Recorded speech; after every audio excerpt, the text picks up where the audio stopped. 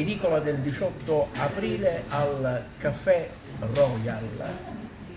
E allora la madre di tutte le partite per la stagione del Napoli è quella di questa sera contro l'Arsenal.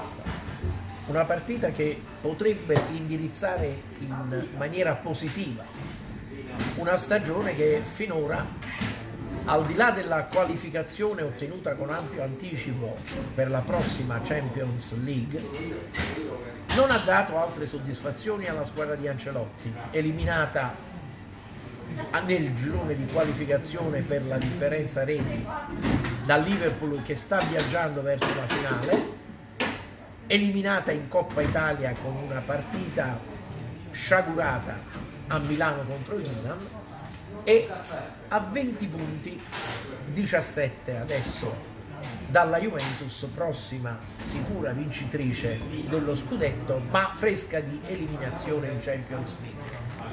Una partita, quella di questa sera, che dovrà dare ulteriori indicazioni ad Ancelotti, soprattutto sulla personalità di questa squadra. Ribadisco un concetto già più volte detto, Ancelotti ha sopravvalutato le capacità di questa rosa, non tanto da un punto di vista tecnico, quanto dal punto di vista della personalità. Una squadra che è sempre a metà del guado tra il diventare una grande d'Europa e una squadra che ancora vive di timori, di ansie e di paure proprio per la mancanza di un trascinatore in campo.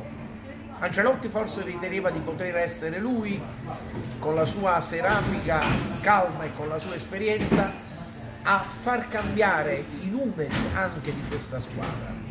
Direi che non c'è riuscito e stasera c'è la prova del 9, una partita difficile nella quale il Napoli deve recuperare due reti e nella quale eh, partita ci sarà e c'è già tanta pretattica da parte dei due tecnici per le formazioni da mandare in campo. Come giocherà l'Arsenal? Ad una punta, a due punte? Attaccherà pressando alto oppure preferirà aspettare e fare pressing nella propria tre quarti di campo per poi ripartire con la velocità di Aubameyang e la Casetta o due trequartisti come Ozil, Iwobi o Mkhitaryan alle spalle di un'unica punta?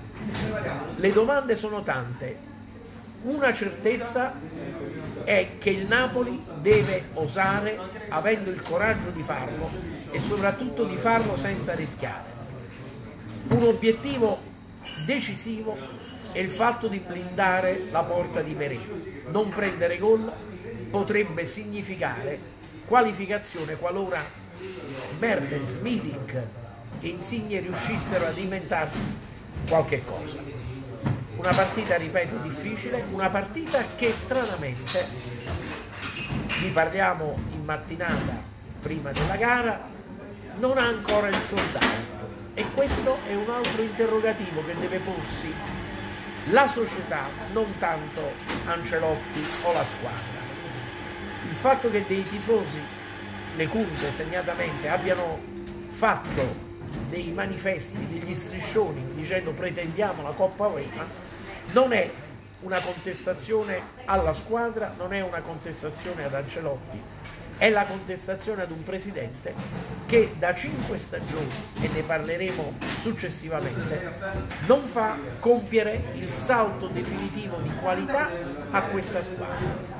Speriamo che ci riesca Ancelotti soprattutto se stasera le stelle del San Paolo e San Paolo e San Gennaro con l'aiuto dei tifosi riusciranno a compiere l'ennesimo piccolo grande miracolo. Forza ragazzi, provateci!